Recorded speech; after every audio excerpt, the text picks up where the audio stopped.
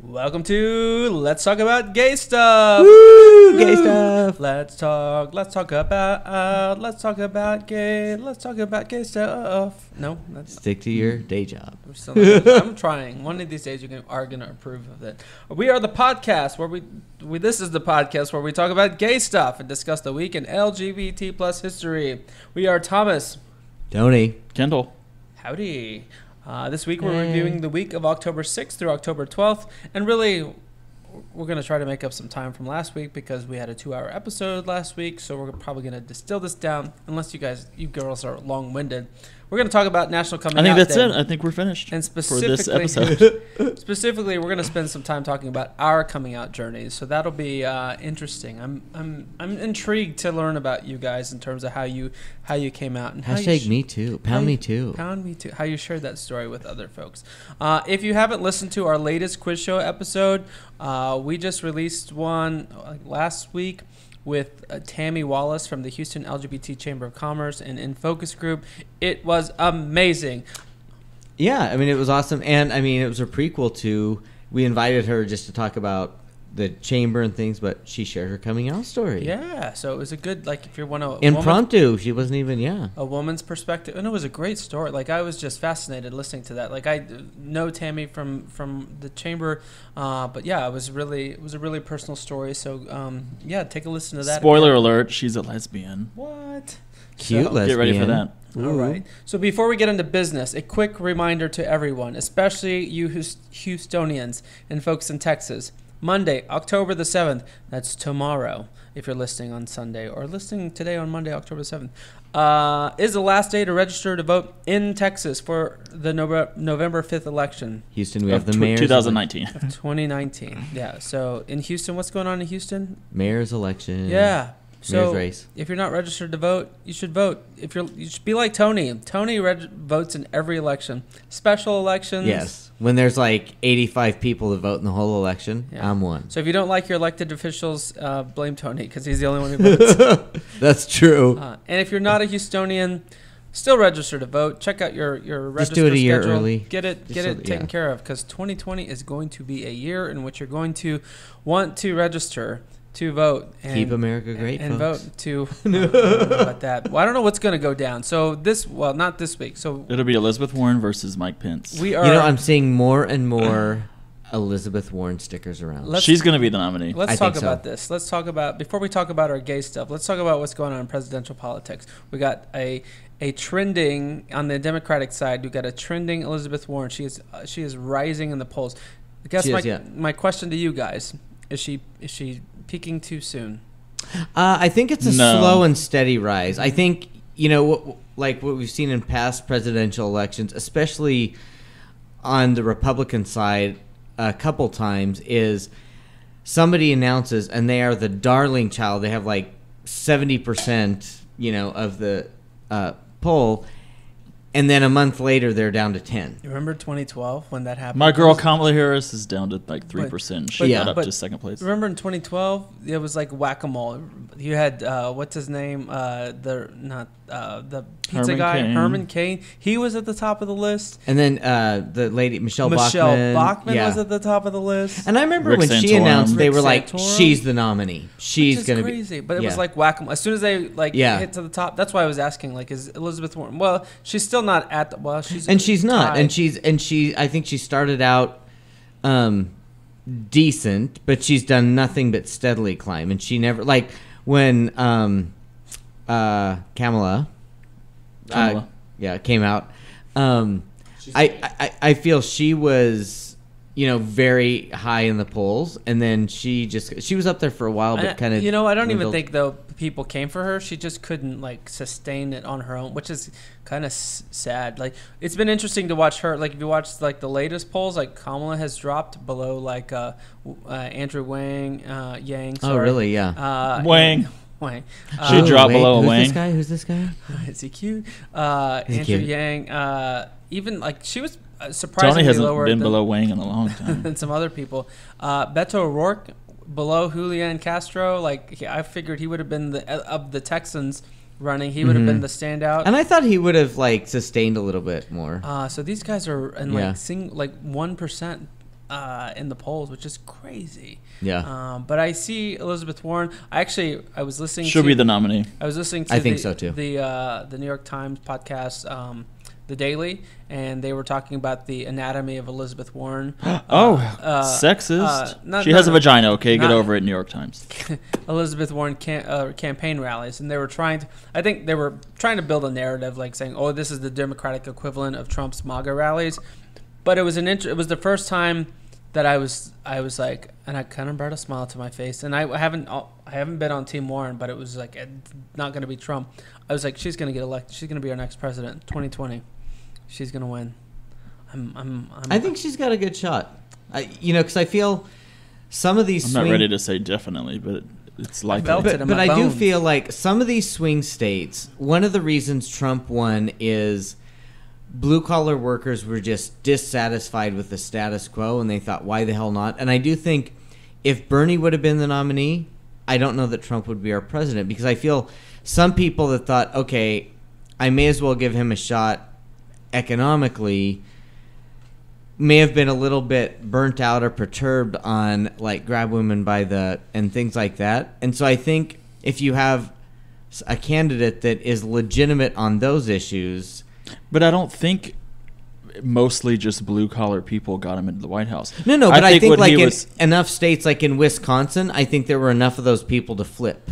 And, and I think his racist message appealed to a whole lot more people than Oh no, I agree. But I think like there were enough blue collar factory workers in Pennsylvania and Wisconsin that if there was a candidate that on the Democrat side that they really felt would be their advocate, they may have flipped a couple of states. Oh, I think he brought people out Trump brought people out of the woodwork on the racism. Yes, and hatred. 100%. But I feel some of those people are in states that would have voted Trump anyways. I I feel like any presidential election really is decided by a handful of states, and it's states that you know, like Virginia, West Virginia, um, you know, Wisconsin, Pennsylvania, things like that, states like that. Um, Which is crazy because that, I mean, I, I was telling you this, I think, Kendall, the other day. I'm like, there are I think, 4 million people or 3.5 million people that voted for um, Hillary Clinton in 2016. All their votes, none of them count in Texas. Right. Uh, because the Electoral College system. right? Yeah, yeah. Yet that three and a half, four million people, whatever that number is, is more voters than like the the five least populated states Mhm. combined total voters, Yeah. not just Trump voters, Trump and Clinton voters. And they, those guys have electoral votes that count. And Our like, system is a little crazy too because I feel like the way the primary system's set up, all you, if you focus on the top three states or the first three, it's almost like you're in. Like if you don't win the first three states, you But- cannot be the nominee. But, but that's not even well from a primary standpoint. Yeah, Yeah. that, that's how you, you gain your momentum. and it is. It's like it's just people think, oh, they didn't win Iowa, no chance, or unless they play second. Now that said, I still am. A, I, I am not ready to abolish the uh, electoral college system. I still think I, I'm still on board with that because I was. It, it changes the social construct. Like it changes It the. Constitution It- completely. Like the does. states lose their their say, and I, I get that Wyoming therefore has more say than all the three million or three and a half, four million people that voted for uh, Hillary Right. Clinton. But I that's the way the contract's written. So you got to change the contract. But I, I'm not sure I'm ready to do that yet. Okay, Mister Alito. All right, and so I'll, the second thing I'll say is I just uh, was, and I'm not even like I, I have not been on Team Warren, but I do think I think she might be. The you've next never president. really liked her. No, but someone's got to counter and say Kamala is the person because uh, you have a friend Tony who is a friend of our podcast Oh, via Twitter. I mhm. think she's never going to listen to this. Lori is never going to listen to this podcast Wait, again. what happened? Oh, she is He's got a friend Lori who's follow, follows us on Twitter Kamala. and is yeah. the uh, Team Kamala. Oh, from day one. And I mean, if you start talking about like politics, I mean, she gets really pissed off at, at So- any good news about anybody. So else. she loves. Mrs. Oh, Thomas, she loves don't it. hate me. I was there, but now I'm a Kendall's been Warren person. And Tony's always been. Well, a here's why I'm a Warren person. Ah. I was on the fence, but so I got a foldable scooter to ride to work, you know, because my bike was kind of on the the downhill. So the other day, I love I'm- how you described it as a foldable scooter, not just a scooter. well, so I can just fold it and carry it into work. So the other day, I'm scooting to work, waiting at a stoplight. On the other street, this guy's scooting to work, and he's like, "Hey, what's up?" I'm like, "Hey," and then I was he cute? Did you make a boyfriend? he was kind of Did you cute, scoot on him? and so of course I have no gaydar, but I mean, it, He was he was on a scooter. He was he, exactly. I'm like, okay, he's on a scooter. as so, well be on anyways, roller he's like, hey, how's it going? I was like, hey, how are you? And then I'm waiting for a sec, and I look over, and on his like uh, scooter, he's got a Warren sticker, and then he's got like a rainbow sticker, and I'm like, oh, he is cute. And then of course the light turns green. I'm like, well, there goes Gone my husband. forever. hmm Tony, geez, God, always a gunkle, never a dad. So, But I'll tell you what, I had to go a different way that day because the train was had me stuck. So I'm gonna start going that way to work every day. Uh, all right, all right. so so Mama didn't raise no fool. There we go. because of the train. Because you want to be on a train. So is Elizabeth Warren going to be running against Donald Trump now that there are impeachment proceedings? What's the Yes. I think so. I think it's just like Clinton, you know, like we're so close.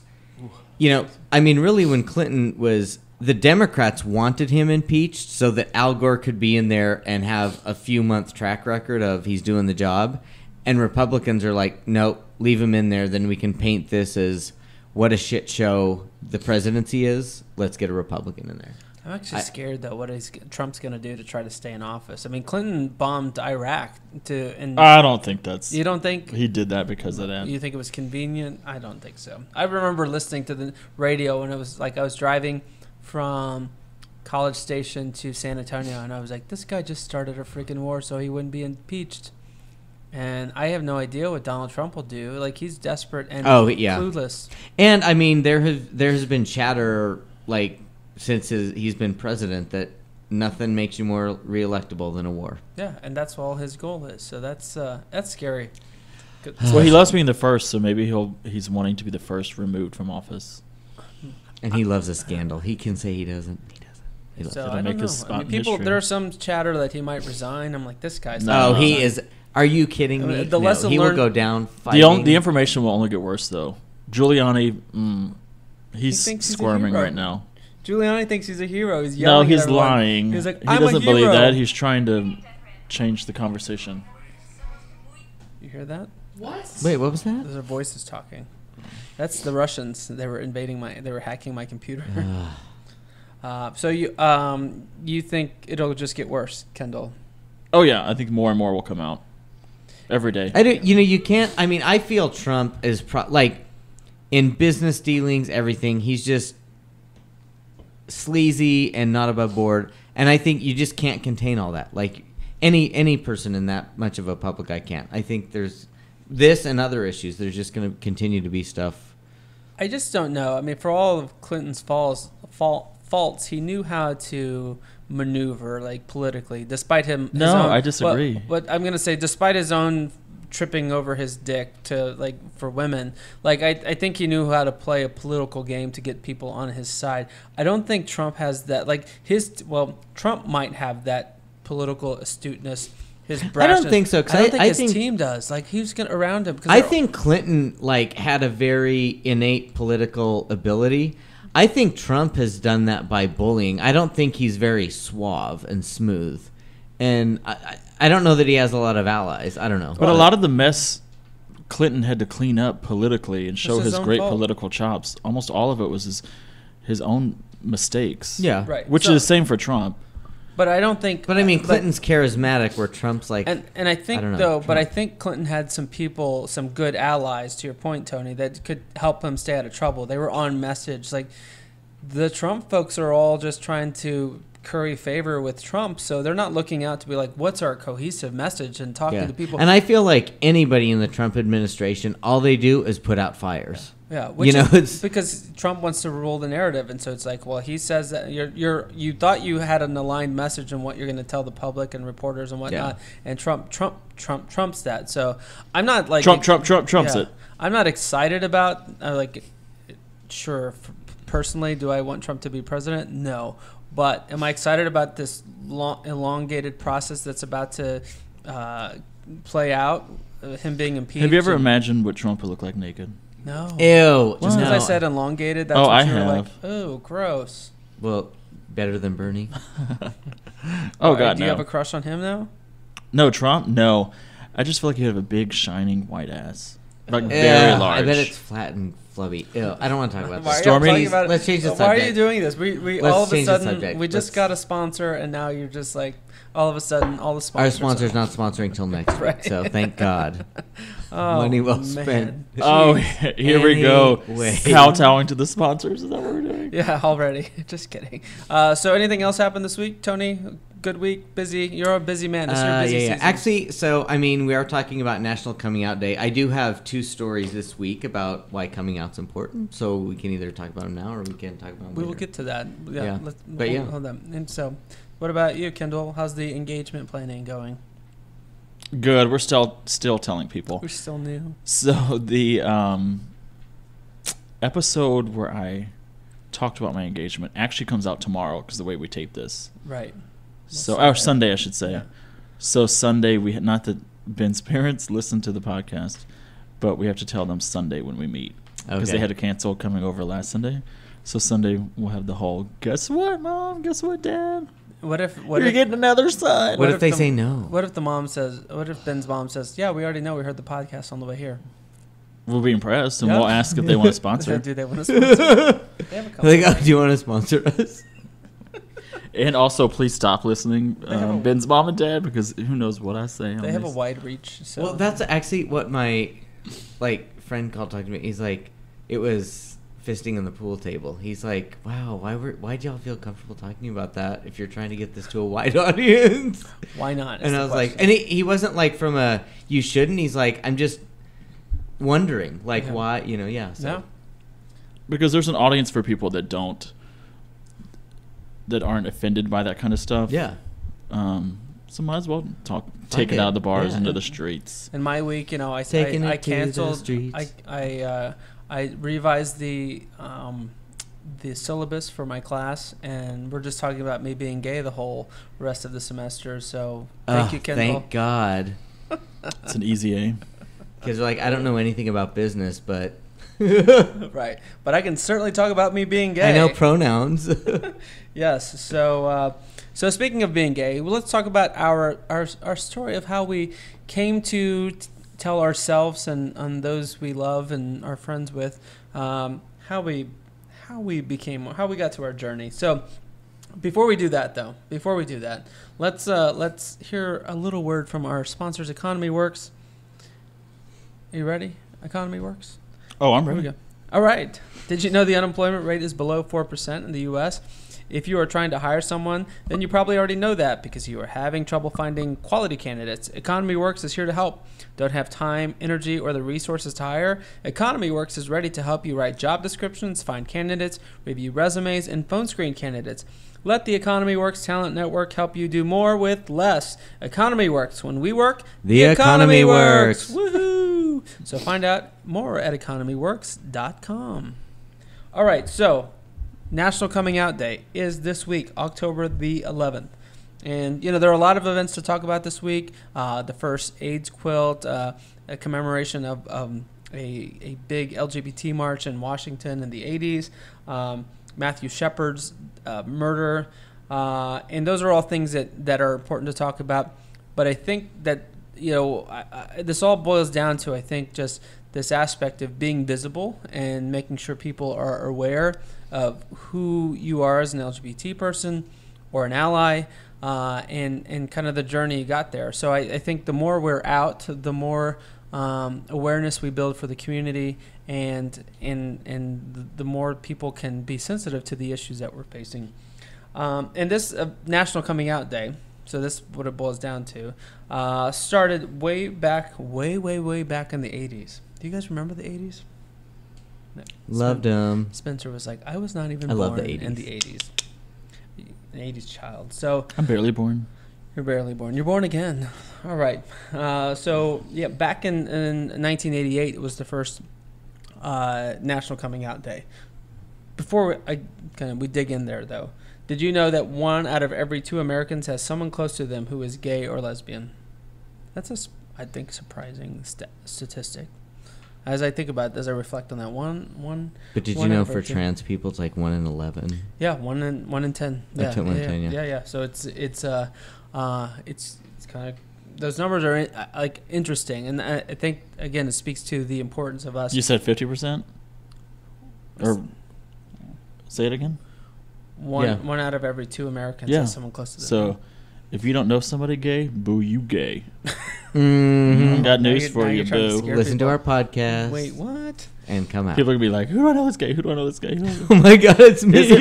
You know, I, honestly, I used to do that. I'm like one out of because it was this this statistic as a kid was like one out of ten. I was like, well, it's not me, so it's got to be someone else. Who is that other person? Right. Then you always pointed to. It this- made math traumatic. Yeah. That's why I'm not a math person. Uh, and, and, you know, even though with those statistics that we talked about, either you know someone or you are gay, uh, not until 2015 could LGBT people get married legally across the United States. Yep. And today, we can still be fired from our jobs because we're gay, Yep. transgender, lesbian. Yeah. Like, it's cool. My friend Kelly, like I feel some people just are so like Kelly, who you met last week. We were talking about that, and she goes, "Ah, "No, they can't." And I'm like, "In your world, because you've always worked for big corporations, but yeah, you know, like they have policies against it, but legally they can." Yeah, if they wanted to. Texas, Yeah. uh, for example, is a right to work state, so you can be fired for any reason, Yeah. and unless it's a protected class, and so uh, you can definitely be fired for being for being uh, LGBT. And any executive order that a president says you can't can be overturned by the next president. Yep. This is why it's important to be registered to vote, even for House members, because uh, and and your senators, because the House passed uh, an ordinance uh, uh, legislation earlier this year to uh, grant protections to LGBT persons in employment, and the Senate has yet to pick has yet to pick that up. And the president, who knows if he'll sign it if it did get passed by the Senate. So. Of course he wouldn't. Um, so that's why it makes coming out, as as the HRC president Chad or former HRC president Chad Griffin said, H, uh, coming out is one of the most courageous acts any LGBTQ person makes. And on nas- on this National Coming Out Day, uh, that courage remains essen- essential to our continued progress toward full equality. So the more visible we are, the more our friends and family see kind of who we are, what we represent, the type of people we are, and that we're not this boogeyman that a lot of the conservative folks or uninformed people would try to make uh, us out to be. And you know, then you know we we, we stand to to be better represented in, in the community. So this National Coming Out Day kind of was, you know, born out of that whole idea back in 19, 1988. The idea uh, for the day was a culmination of four months of momentum, where more than 100 activists were gathered in Manassas, Virginia. Pronounced Man. man asses. Man, Ooh, wait, what? Mm-hmm. You loved to say that when we lived in Virginia. I was like, "Where are we going?" Did you want to live there? We're going to man asses today. There's wine. Yeah. We're gonna go to a vineyard, and where? Man asses is down south. Manassas, uh, which is outside of Washington D.C. And uh, according to the HRC, Does Martha live there? uh, she lives. She looks wo- in womasses. Womasses. Womasses. She lives in wood vaginas. I don't know. Uh, it was conceived by psychologist Richard I. Vaginasses. Eicher, Eiger. I should know this. Eicher, E I C H E R G. Anyone want to give it? E I C H E R E. Hiker. E R G. Eicher. I'm smart. Thank you.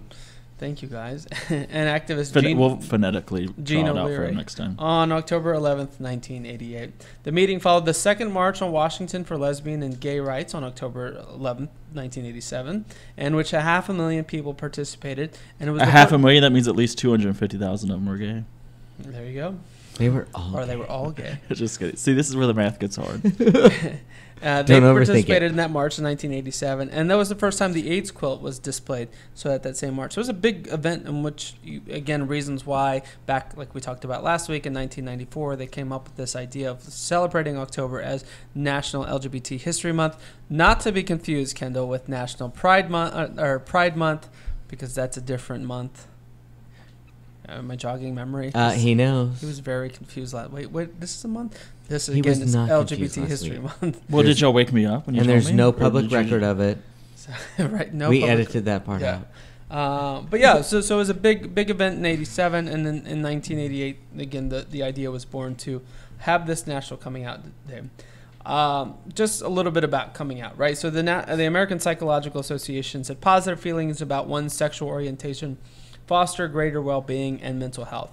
They define coming out as self-awareness of same-sex attractions, the telling of one uh, or a few people about these attractions and wide, widespread disclosure of same-sex attractions and identification with lesbian, gay, and bisexual community. I guess now we'd add tra- transgender. Um, uh, they note that there, or at least the HRC notes, there's three stages of coming out. It's one first opening up to oneself, then coming out, and then living openly. Um, and we talked about with, with Tammi in the quiz show last week, uh, where you know that that is part of it. Like you're constantly coming out. You know, she talked about it as a business owner, you Yeah. have to come out too. To like, am I going to talk about with, my clients about my same-sex partner My and wife, those sorts yeah. of things? And so, um, yeah, it, it it's important that we're we're out and visible. So wanted to spend the balance of this episode rather than e- us each going into our own historical topic. We'll resume that next week, so worry not. Let's go into our own journeys of of of how we came out. So. The first episode I didn't need to take notes on. Kendall, you want to? Start? Oh, Me am I starting for this? No, Wanna oh no, it's Oh my god. Well, my journey starts now because I'm just now officially coming out. Oh yeah. Okay, just like your you. engagement. Yeah, Kendall, good Kendall's for using the podcast to do everything. Major Get life engaged. moments. First, I got for engaged to a you. man, then I came for out. you. So when did I come out? Oh my god, that's a long story. Well, I felt like everyone knew. First of all, did y'all think people knew the entire time? Probably Thomas, you didn't know. You didn't think. Uh, I, I didn't. No, I didn't. See, I no. just assumed everybody knew. Tony. Oh, everybody knew from the time I was yeah. Spencer, you said everyone. So I was a gay little pre- preacher's kid, trying to remain in the closet, although I was shy. Um, like tra- tried to be basically wallpaper, because I was such in fear Yeah. of coming out of the closet. And I thought if I came out that my dad would lose his job, my we would be banished from the him having a church ever again. Um, I would be like even more the black sheep of the family. So it took a long time for me to be even consider the fact of coming out. Yeah. And this is I spent most of my life in the dirty, dirty South. So at 15, I told my best friend Laurel. I called and I was so sad. I was so stressed about it, and I just I it was like I have to tell somebody. And did you just feel like I'm mentally a wreck? I've got to tell somebody. Is that why you did it, or were you like what? What? What was your like? I need to tell somebody. Why did you need to tell somebody? First, I felt, and this is very important. I f- knew that I would be able to tell her, and she wouldn't like shun me. She wouldn't judge me. So it really helps. Not everybody has. Oh some- yeah, right. I yeah. somebody to tell. But I finally got to the point where I was like, okay, I have to tell somebody, and I know Laurel will not judge me, and I'll Mhm. only tell her, and maybe Yeah. it's the only person I'll ever tell in my life. So I called her and told her. Did she say? Yeah, I knew. She said, "Oh, honey, it's okay." But I told her I was bisexual, like many people do, Yeah. especially back then. It was like Oh my god. in your head, you're like, "I know I'm gay," but how about we baby step? My friend John, queeniest person ever, bisexual, because he told people like in college. So I have to tell you, I'm bisexual, and he's never actually been like, bah. I mean, he's married with a kid, And you were like, mean, to "Gay." Yes, everybody's like, yeah, of course, we knew. Like, yeah. anyways, go ahead. So like bisexual cologne. No, that's unisex, honey. Um, You and joke. I. s- so for a week, I was bisexual, but it felt then- so good just to tell her. Yeah. And she was like, "Are you gonna tell your dad?" I was like, "Nope, not gonna happen." So I didn't tell my. I told her at 15. I didn't tell my dad until 17. But at 16, I got a job, and I felt on my second job, no third job. Oh my god, I had so many jobs as a teenager, just Kendall- like I do as an adult. I was gonna Say, say as a you've had tons of jobs as a Since the whole person. started. Yeah. It was my third job, and I was only 17. I feel like our first twelve episodes, every episode, you're like, How's your new did this, I'm job? like, Which one? No, but you're like, oh, when I was like a paramedic. Oh, when I was like a plumber buyer. I'm like, what the fuck? Yeah, I mean, A dominatrix. um, so on my third job at 17, there was a coworker, and I was like, okay, she seems cool with the gays. I'll tell her. And then I told her, and of course, it was like I'm all nervous about it. And I came out as gay to her, not bisexual, and she said, "Oh, good, I love gay people." Which in 1998 is like, or 1999, it's like, oh god, thank you, because you never know with these people. yeah. And this is in what Alexandria? This is Alexandria, Yeah. Louisiana, small little town. And then we go on a missions trip. So we used to do these like international missions trips when I was younger. Haiti, Honduras, Peru, and the first one we went to was Haiti. And there was this girl on the trip. Surprise, Karen! You're a part of my going coming out story. If you ever listen, uh, I think she, she's our number one fan. my dad wanted to, me to date her so badly. Uh, So he was trying to set us up. I'm this little formerly bisexual gay boy, and did not want it to happen. So we're on the the Haiti trip at this like nice dinner, and Dad thinks he's really going to set me up with uh, Karen at so this like time. you sit next to Karen, yes, and Laura was there at the table, who I came out to, so she saw this coming. and she's like, "Popcorn, please." Oh, she loved it. And Karen said, "I don't think Ken- just out of the blue, which shocked me.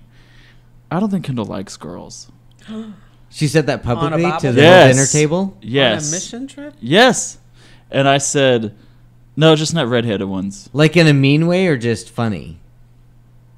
Well, sh- to her it might have been funny, but to me She it was said like, it. Yeah, like why say that? you don't realize what you're, s- you know, Yeah. jeopardizing She said it here. in front of your dad too. Yeah. So I said, just not redheaded ones, because she was redhead. And got in so much trouble. Dad was so mad, told me later that you're going to ruin your chances with her, you know, the rest of the time in Haiti. So we get back to the U.S. and Do we're you think look- it flagged your dad to be like, "Is he?" Yes, I, I I knew when he was because he was trying to set me up. I was 17. The only other date I had gone on with a girl was one that he basically said you have to go on a date with her. So I was like, I'll go on a date. This is when I was 15, and you can Name get your drop. driver's Who- license. Who, is she? She may be listening. We want to give her a shout out. Oh, I don't remember her name. Oh, come on. Daisy, No, I don't remember her name. I think it starts with an A. Crystal, I blocked it out. Yeah. Amanda, Mandy, Crystal. Those are all your fantasies that you're spitting out on the mic. no, I don't know any of those girls. Those are Anyway. it's in, those are sin, sin law folks. You're talking about Misty and Crystal. Yeah, Misty, Crystal, Tammy. Tammy. Well, no. well, Tammy is from Mississippi. okay, well, let me tell my coming out story, Thank you, please. yeah. Thank you. Um, so we're there at dinner, and my dad is shocked and pissed. And then we get back to the U.S., and we're looking at pictures, and I knew because I feel like when you're constantly like avoiding people asking you if you're gay, you can kind of sense it when they're about to ask. And I'm like, he's about to ask me if I'm gay. He's about to ask me because he's looking at pictures, and like me and Karen are the pictures and all that. And you were posing like a true woman, Probably had my Hand on ass your showing hip. only. And so, did he? duck face. so he said, "So Karen seems to like you. You don't seem to like her." And he looked up from the pictures. Are you gay? I'm 17 at this point, and in my head, I just say, "Fuck it." And no turn it back. I say yes. He said, "What?" I said, "I'm gay." And then the phone rang, and he answered the phone. so I'm standing there like, Oh God. Yeah. did you really have to answer the phone right now? And I cannot move, frozen. Like, did that really just happen? And it's Yeah. my mom. And he's like, okay, dinner's at what time? Okay, okay, Kat, that sounds good. Okay. I'm like, get off the phone. It's making it worse, you being on the phone. So he hangs up the phone. He was very sweet about it. And I never, I always thought if I came out of the closet, it would really, I knew my parents would have a hard time with it, but it wasn't because they would love me less. They just wouldn't understand it Mm-hmm. Because in the sense of coming out sometimes you have to be more mature than your family members and parents Yeah. because it's your stuff you've been dealing with Yeah. and then you just drop it on them And that's the thing. You've been struggling with it for your whole life, or ever since you've hit puberty, or whatever. And they're finding out about it now.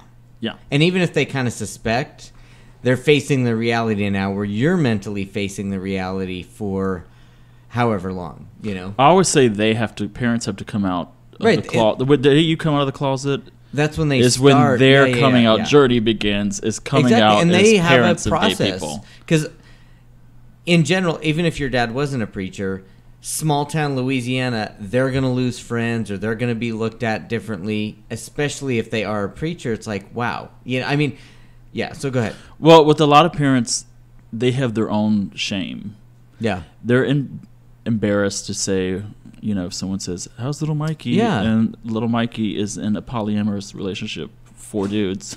then how do you tell? Mikey's great. how do you do that to mom? You know, how do you explain that to your your own mom? yeah. Well, little Mikey is good. He's with uh, Daryl and Steve and Chester, and Roommates. he's the But they're that. 38. Right, he has a lot of roommates. He's basically my big brother. So they have to come, you know, deal with their own shame as gay parents because parents in their mind have a vision for their kid when they're Mhm. born of that kid is going to make me so proud and it's going to be a reflection of me and my parenting and it's going to make me look Yeah. let's be honest it's instinctive for a lot of parents to think this Right. going to make me look good and they're going to give me grandchildren. It's a lot about me, me, me. So when you come out and you say, guess what, I'm gay, and all these things go through their mind like, how dare you ruin the vision I had for you? Yeah. And I think some parents think, you know, being gay is a tough life, and I don't want that for my kid. You know, like I, I don't want them Right. to face any more struggles than they have like, to. haven't you thought of another way? Yeah. So my dad was very sweet, but he convinced me. uh, This is the sad part to me at the time, is that when I was younger, Dad told me and my sister, "There's only two things I wish for my kids: is that they marry a Christian person." First of all, I when he told me this at like six, I'm like, "Well, I can never get married without lying, so Yeah. that's out." And then he said, "And they're good, that they're good Christian people." And I'd never considered myself a Christian. Never believed it. It was all such a farce to me. So I'm like, Yeah. well, there that goes because I'm not even a Christian. So for him to say the most important thing for my kids is that they marry a Christian person, he had gone from that and you're a virgin until marriage and all that to well, you just need to try it. you know, it was almost like this Yeah. desperate. What do you mean you're gay? You, You just sure? you just need to, yeah, like maybe you need to be, maybe you just need to experiment or something like that which was so shocking to me because it Yeah. went against 17 years of the way I was taught. Yeah. It's like, let me take you to. But in his defense, he was like, "It's a hard road you're going to go down. Are you sure this is?" Yeah. In his thinking, what you want to do. So right when I was at the point of ready to come out, able to tell my dad, um, he kind of convinced me that it was possible to be straight. So I went back in the closet. And then by this time, when I was back in the closet, I was about to graduate high school and go to college for the first time. And we went on another missionary's trip to Honduras, and I passed out and had a seizure. And it was this, it wasn't like a seizure to where you forget, you like you black out and don't know what it is. It was to where I fainted first, hit the ground, and then was awake, but I was like shaking and control my couldn't control my body. Came back to the U.S. and lost a whole bunch of weight. I mean, I was already thin back then, and I just looked like a skeleton. What was the cause of your seizure? Stress or? Well, we'll get to that. Okay. So I went to a bunch of specialists. I kept having these seizures, kept losing weight. Um, was in the hospital for five days. Had saw all these specialists. No one knew what the deal was.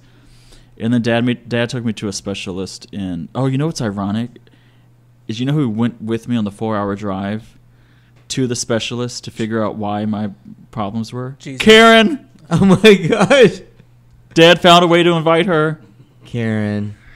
So we we go and the the doctor walks in to the room to figure out what's wrong with this little boy because he keeps falling out and having seizures. Um, and the doctor is one of those weird things where I knew what he was getting at as soon as he opened his mouth. He said, "So your dad's a preacher, huh?" And he looked at me. I said, "Yeah." He said, "That's got to be stressful, isn't it?" And I was like, "No, I'm pretty used to it." He said, "Okay." That's it. That's an entire consultation. He walked outside. I found out when I left um, and told my parents, Your son's gay, and the stress of being a gay kid in Louisiana In a pre. in this time as a preacher's kid is causing him so much stress that his body is turning against How him. How could he tell you were gay? Just by the way you were side saddling on the the checkout table. Probably. Or- I mean, I probably was prepared for the rectal exam when he walked in. Bent like, over the table. trousers." like, ooh, he's cute. Yeah. Oh, I thought I was going to get fingered. We, Um, we've since seen them at the gay bars here in Houston, right? No, I'm kidding. I recognize that figure. Ooh. A doctor? What? Is he cute? So my parents told me, and I said, "Has it come to this? Really? Like I'm in the hospital and having to see Yeah. specialists because I'm so stressed." I said, "I'm not doing it anymore. because it's like a it's messing with my health. So Yeah. I'm gonna officially be out, and that's when the whole journey of actually like accepting, even though I came out at 15 and started telling more and more people, and I was out in my senior year and told my dad. It wasn't until I got diagnosed. I call it being diagnosed with the gay. I'm like, You what do you? medical diagnosis? Literally, it was. It went from the site, uh, Journal of Psychology to Journal Right. of Medicine.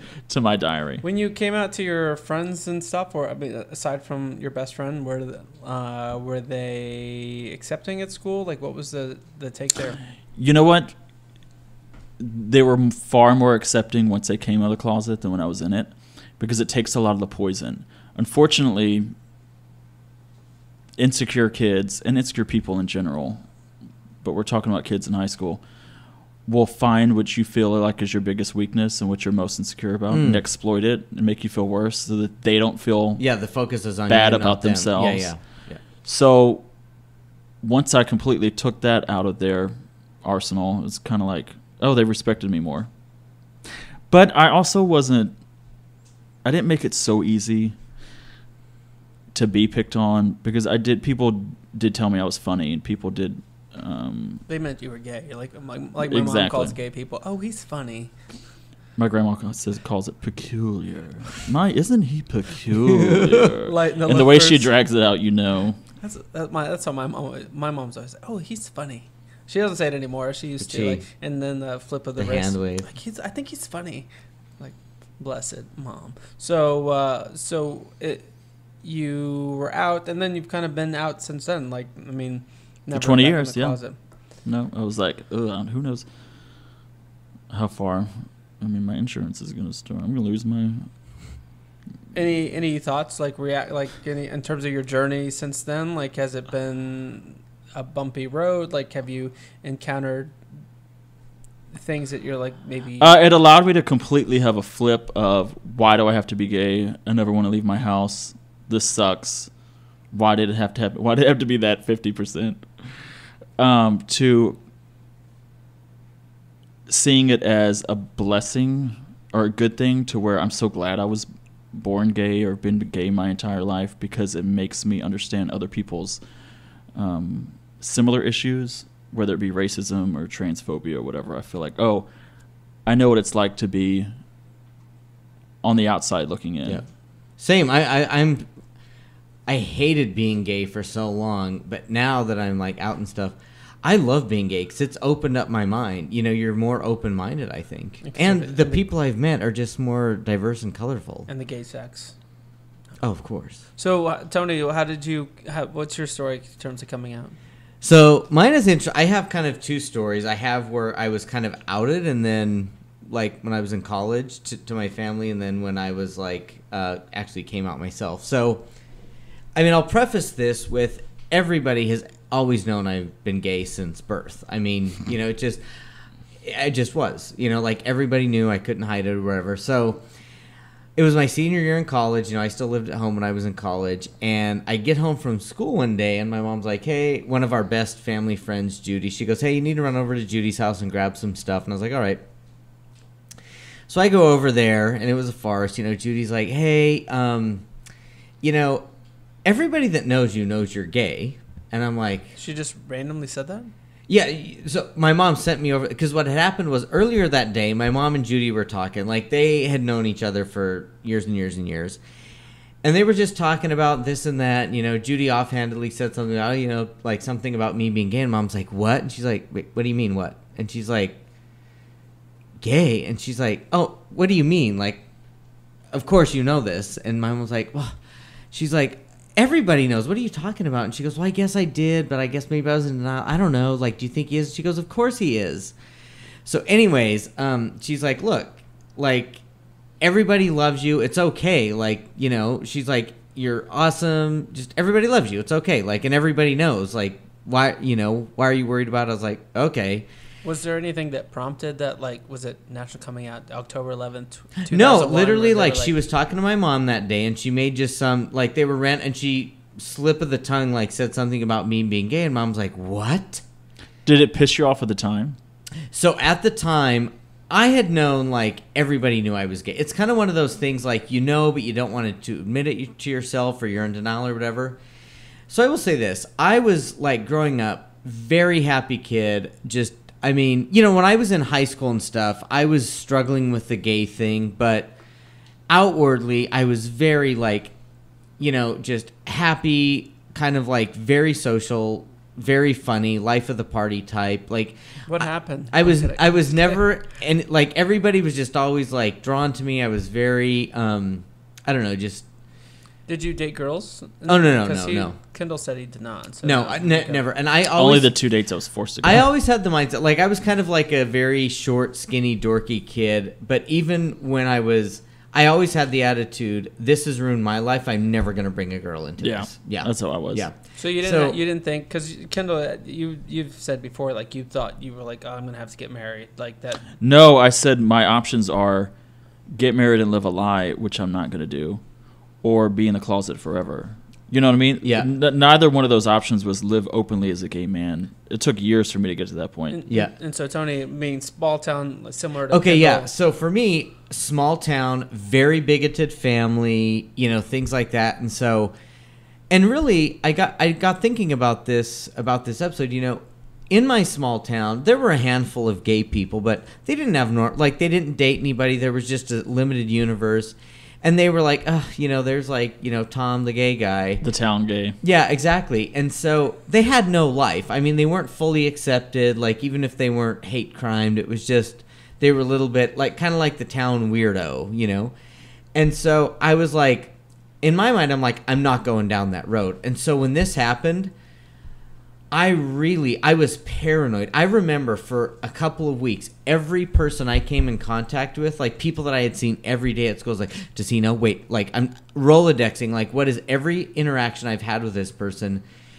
And it put me on guard. I was like, you cannot let your guard down for Yeah. one second. Like every second of every day, your focus Yeah. has to be you cannot pick up the bread in a way that makes you gay. Yep. You can't like take a sip of coffee that makes you look Right, because the way I hold the coffee mug might you, you make, have to focus on my voice has to be straight. I mean everything. Is and that your straight voice? yes, That's because it sounds like Bea Arthur from Golden Girls. You modeled your man voice on thank you.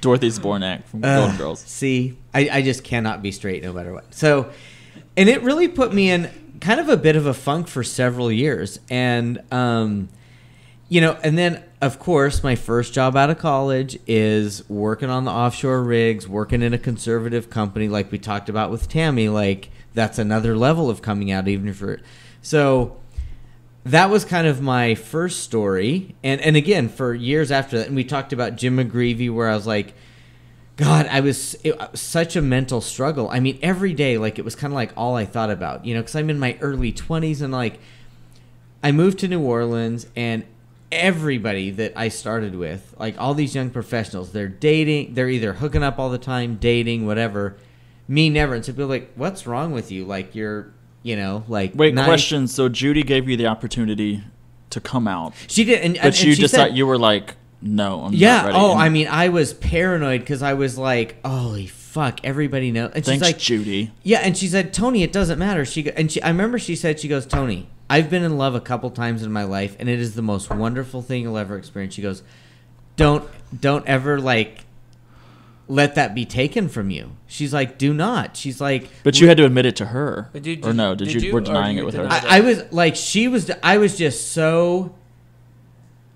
I don't know if I said too. I, I was just You were like, oh probably oh my not God. denying, And you know, not I will say this. So my mom worked graveyard at the time, and so she went to work at like probably like nine nine thirty at night.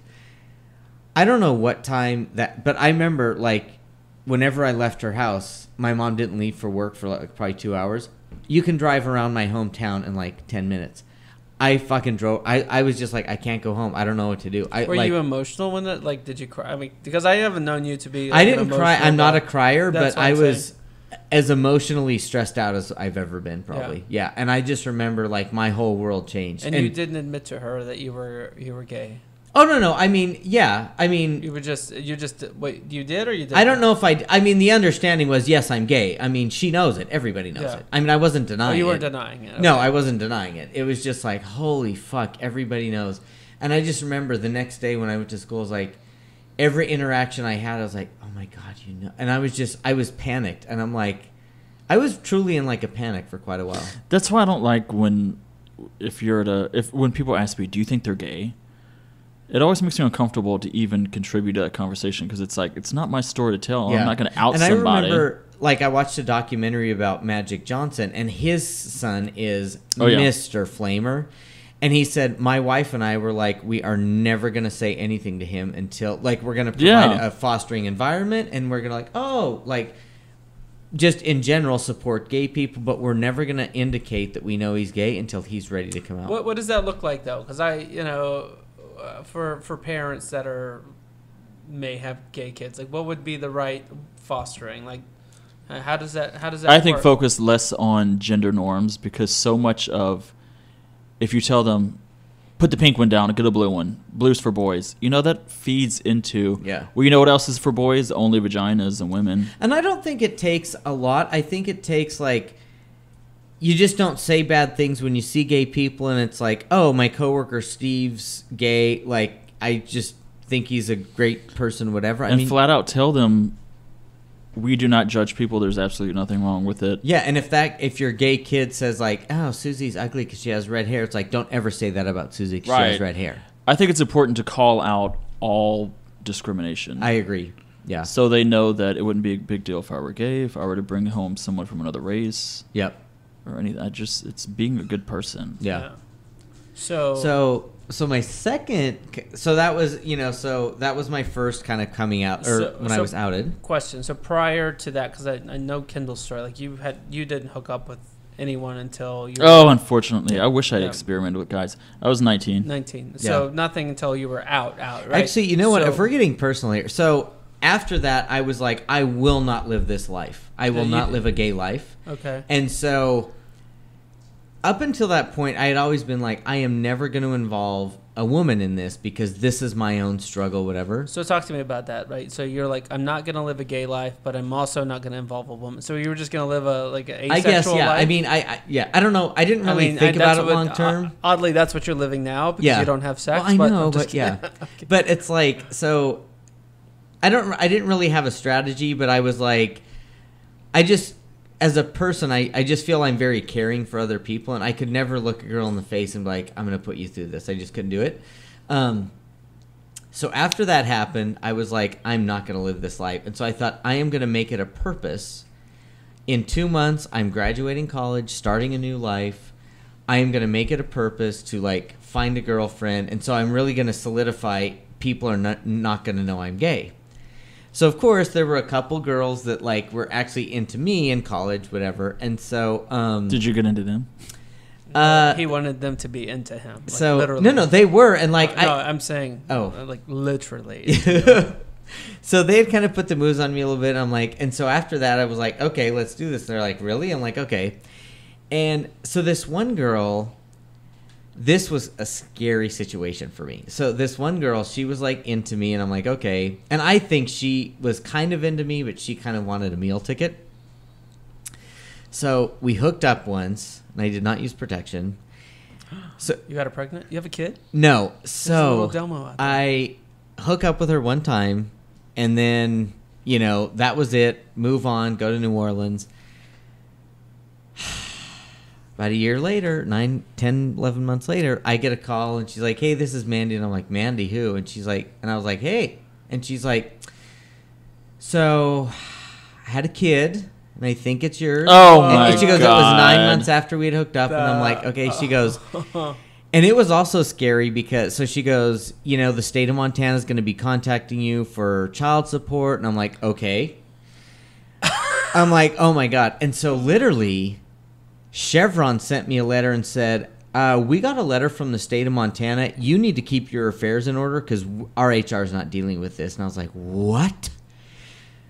So I get this letter from state of Montana saying you need to show up for a right paternity test, and I'm like, okay. So I go take this paternity test, and of course, at that time, it takes like three weeks or something, like DNA How testing. stressed were you when this whole thing? Oh my god, on? I am like, oh my, Mr. Engineer, yes, I am like panicking. Small town Montana. And so literally, she goes, "Well, I'm going to send you some pictures of the baby." I was like, "Okay, whatever." And gosh. Yes. And, Oh my gosh. and here's one thing. So I literally take this paternity test, and they're like, "Well, the results take three weeks," and I'm like, "Okay." And shortly after that, I had like within a few days, I had gotten this, and she she went to a different university, and it was right near a Native Native American reservation. I open up this envelope and there's like a dozen pictures, and this kid is 100% Native American, and this girl is pale skinned, blonde haired, and I thought, Oh, she wanted it to be you. and my thing was like, there is no way that's that kid is Native American, and I thought, but still, I'm in a fucking panic, and I'm like, and and so she, she- oh, she quit school. She was like, I moved back in with my mom, and I thought, and the way the state of Montana works is, the father needs a certain standard of living. So, say like it's the poverty line, twenty grand a year. Anything above that, so you are responsible for child support no matter what. If you make five bucks an hour, you're responsible for child support. But once you make over 20 grand a year, everything above 20 grand a year, if that lady says, I need this to provide for my kid, I can't work, I need to be a stay at home mom, she's entitled to it. And I'm like, here goes. Luckily, it was not my kid. You. I wonder how many guys got those letters. You only had sex with her once, yes. and why did you decide? Because you, Tony, you seem like a very, uh, you manage your risks. So the first time you're ever gonna have sex with a woman. No, no, it wasn't the first time. oh, so okay. uh, it was first time with her. So after this conversation with Judy, I was like, you know, these couple girls that are like interested in me, I'm doing it. I was like, I I am gonna prove to the world. I was like on a mission to prove to the world that I was like not gay. Yeah, and so um Okay, so it wasn't the first. Oh, it was like you. the no, so it was girl you had like yeah, but I will say I honestly think that was that was the best thing that could have ever happened to me because I was like, okay, here are the consequences of going that direction, and so I quickly reverted back into leave lead your like cat lady life where you're not going to be out, but you're not going to involve some other girl into this whole mess. Yeah. Side note. Okay Wow. so my actual coming out story is um, so I'd moved to Houston, still living my you know just not just my bachelor life, not doing How old? anything. Um, what's that? How old? Probably about twenty eight. So my friend Jackie, who lived in Denver, she goes, "Hey, come to Houston for the weekend. Let's hang out." I'm like, "Great!" And we all had a bunch of mutual friends here. All you know, we're all single, all late twenties. So I'm like, "Great, party weekend." She goes, "My friend Tyler's coming down with me." I'm like, "Great." She goes, "He's super fun." So she comes down with her friend Tyler, and we're all hanging out for the weekend. And he is awesome. He's super fun. Everybody loves him. Great guy. Super cute. And he's gay. So we're all hanging out, having a great time. And it wasn't like, I mean, she wasn't trying to set us up. And he, like, he wasn't coming down here to meet anybody. It was just like, he was like BFFs with Jackie. I was her BFF here. We're all hanging out. So we hang out all day. At this barbecue. We're drinking. Then we go out at night to the straight bar. We're drinking, whatever. And we're like, okay, let's go to breakfast. 2 a.m. Let's go to Denny's. So I drive him to Denny's, and everybody's you know taking separate cars. On purpose? Like, did you? Were you feeling something? Uh, I think a little bit. I think he was more than I was. I think he was a little. I think the straight people and he were a little more calculating than I was. So we pull up to Denny's two in the morning, and he kind of goes in for a kiss, and it was a very just innocent like hey we've been hanging out all day together. You're really cool. There's a good vibe here like you know as any normal gay person would. And so i was like what in the fuck are you doing? And i was like wait what? No. And in my mind i'm like oh my god you're outing me. Of course i can't do this. What? This is freaking me out in his mind the initial was like oh god you're not into me i was getting a vibe that you were but quickly after a couple seconds, he's like, wait, what? Like, you really don't want this? And I'm like, no. And he's like, okay. And we're like, let's just go to breakfast. So we go into breakfast. And, and yeah, and so I remember thinking, and so the next day I was like, never again am I going to be in a situation where a really awesome, really nice, really fun, really cute guy is into me and throwing himself at me, and the wall is closet. I mean, it's one thing if like, oh, we're coworkers, I don't know about this, but I was like, done. I'm never going through that again. Yet you tell us every podcast episode. I ran across a cute guy at the coffee shop at the stoplight, and I didn't. Say Well, I'm not going to go out and talk to them, but if they're throwing them so. But it's not because I'm closeted. In front of because your I'm like, scooter. oh, I'm 40. I'm like in my cat lady lifestyle. So after that, and you know, for me, it was always like, everybody knows I'm gay. What the? Why are you hiding it? What's the big deal here? You know. But it just and it was it was kind of a weird wall between me and like Kelly said. She goes, yeah. When Tony's like, yeah, I'm gay. It's like, uh, okay.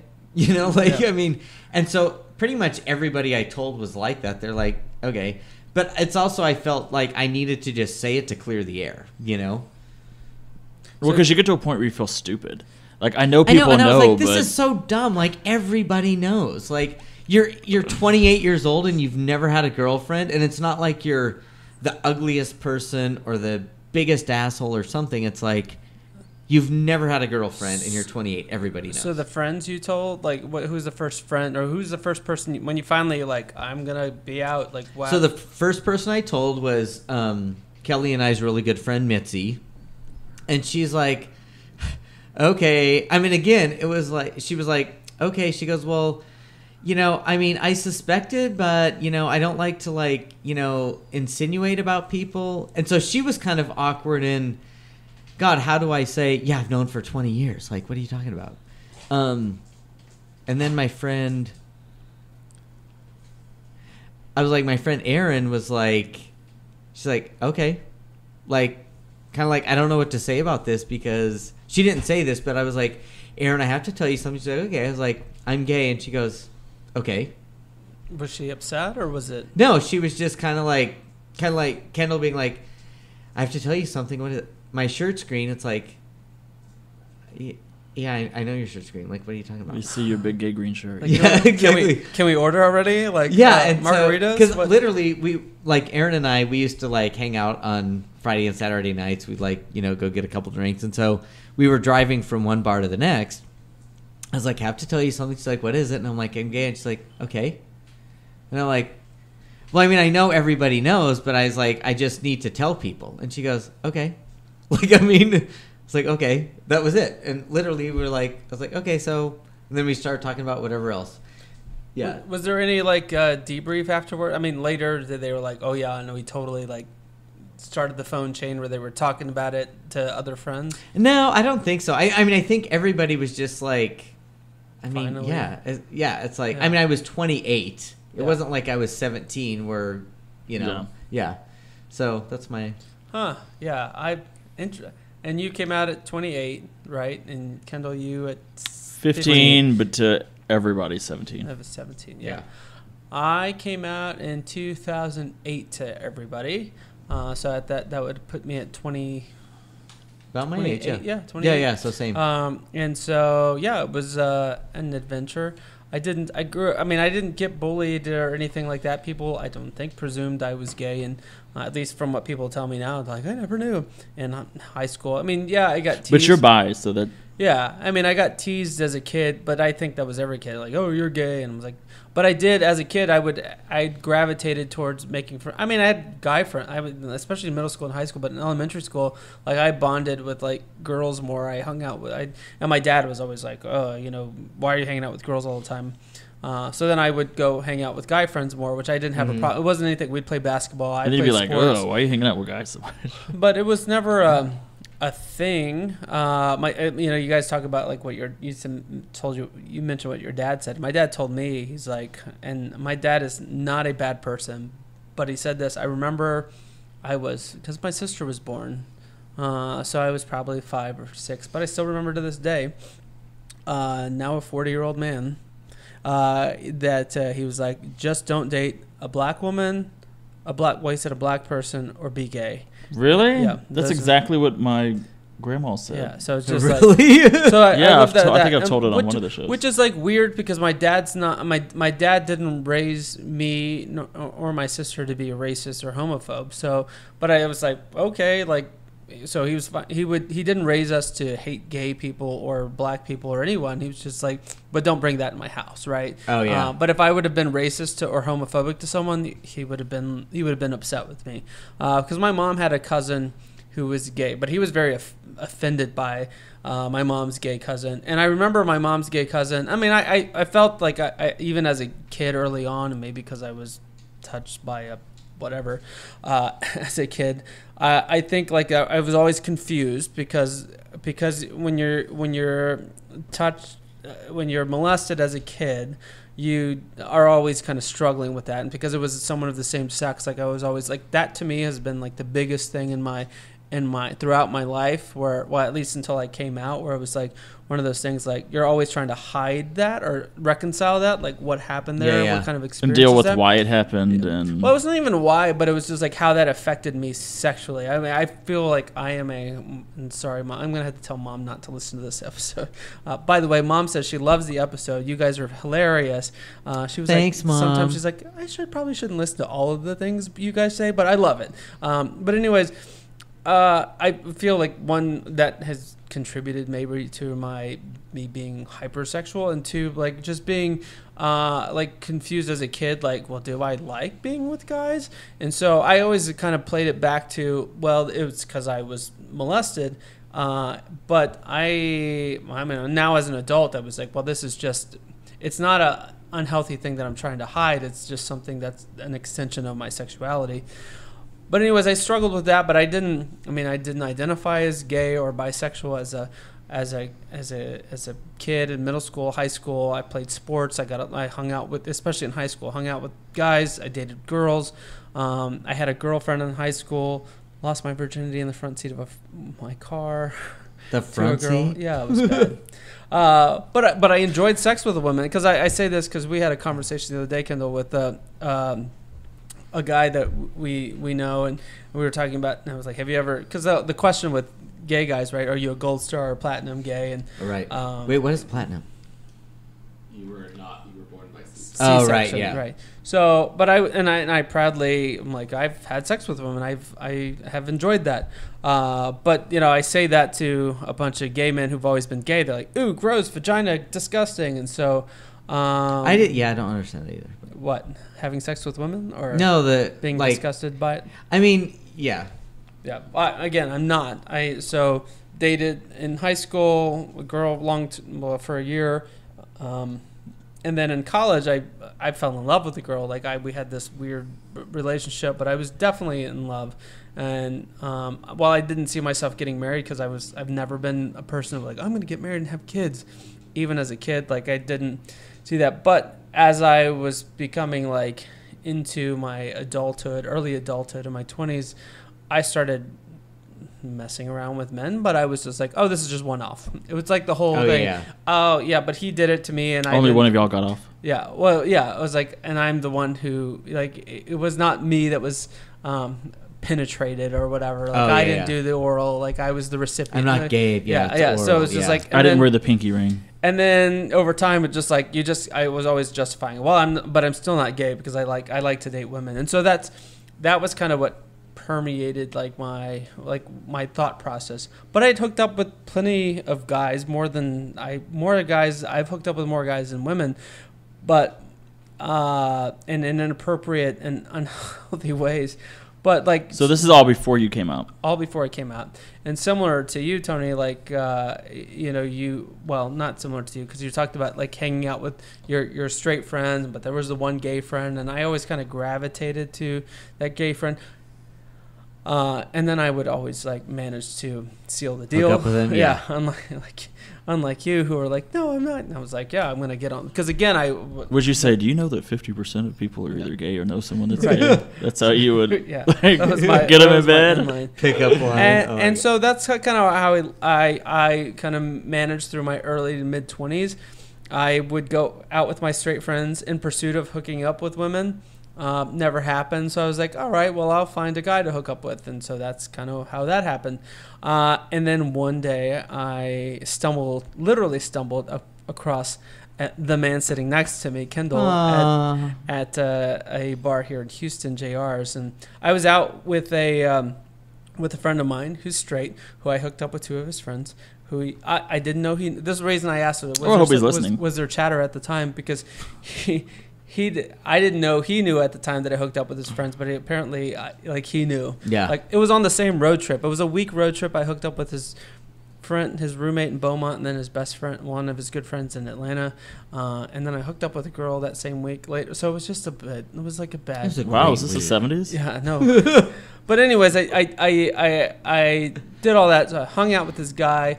He we're, he's in town visiting from like I don't know. He's out of he was out of the country. He was like, I'm gonna be in Houston. Let's meet up. So we went to dinner. Uh, we meet with a, f- coworker of his who's gay. We're just pounding back drinks. We're like having a good time. Uh, we wind up at Howl at the Moon because they're like, Yeah. oh, let's. But it's like a Tuesday night, or no, it was a Thursday night. I remember distinctly now. It's Thursday night. They say uh, his gay friend was like, "You guys should go to this bar, JR's." They and we were like, "No." He's like, "It's a gay bar. It's cool though." Like we're like, "No, no, no. I'm not going. We're not going to gay bar." He and I were like looking at each other, like we've been to gay bars. Not cool. Like we we s- hang out and try to. Meanwhile, you'd slept with both of them. either e- even though no, I didn't hang out with the straight. Didn't didn't hook up with either one of those guys. Mm. The other guy's straight, so no. Um, but But it was off his game. but like, I was like, I don't go to gay bars, and the only time I've been with gay Ugh. bars was with this friend, and oddly He's enough. I, I did hang out. I, the last time I went to a gay bar with that guy, I did hook up with one of his friends at the gay bar. But anyways, um, we're- we're, at Howl at the Moon, and all of a sudden, his gay friend is like, "But they have karaoke at JR's," and I'm like. "Ah." He dropped his panties for karaoke. And if you know me, I'd like I'd, I'd love to sing a karaoke song.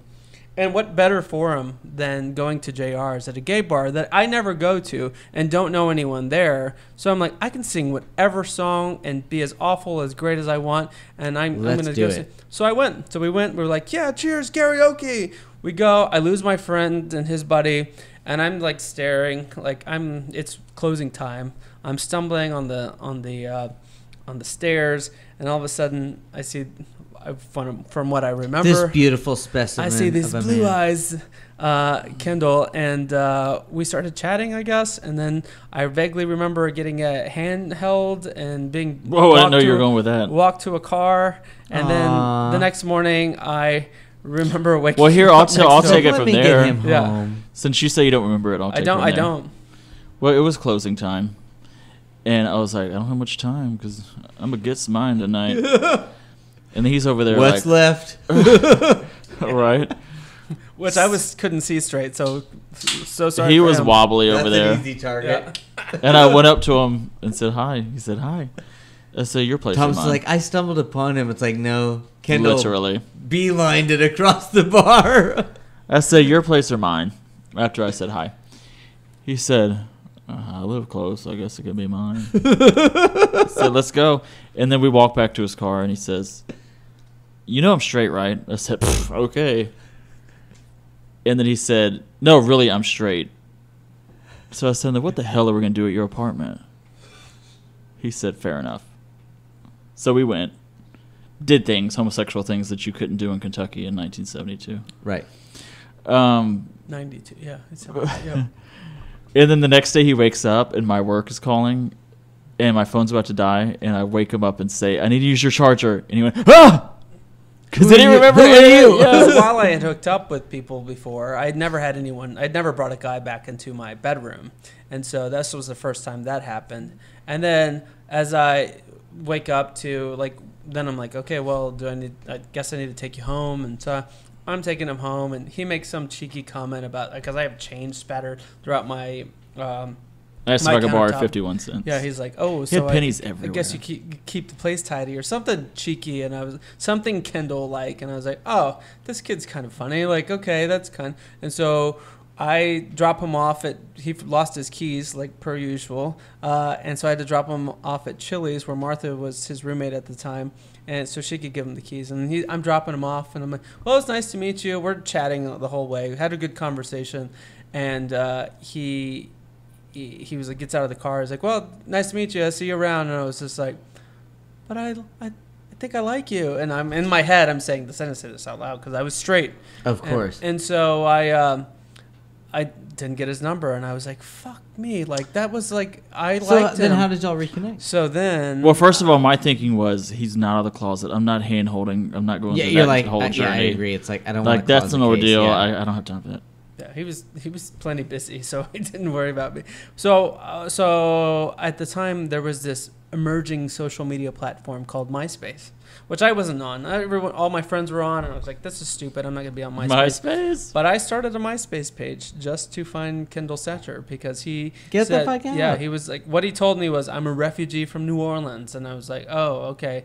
Oh no, he said he was from New Orleans. So because the conversation, where are you from? He's like, I'm from New Orleans. I'm like, oh, you're a refugee. He's like, mm-hmm. Although he denies that to this day that he. Said Oh my that. God, let's not get into that. Anyways, he said that, so I, I looked up Kendall's, you know, and and there it was, this little picture was, this little shaved head, and I was like, oh, he's cute. And so Kendall's like, wow, I'm his only connection on Yeah. MySpace. Oh, I knew instantly. He, Tom, you know, the founder of MySpace, everyone's first friend on MySpace is Tom. Tom was his only friend. I said this enough.